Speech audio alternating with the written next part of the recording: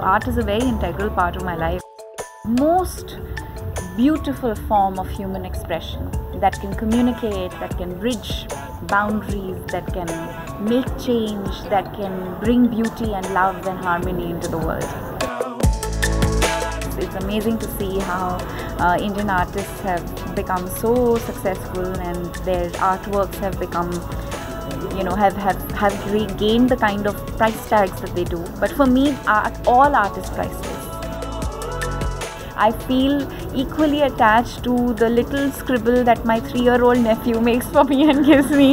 or the the biggest painters whose whose art uh, i do or do not possess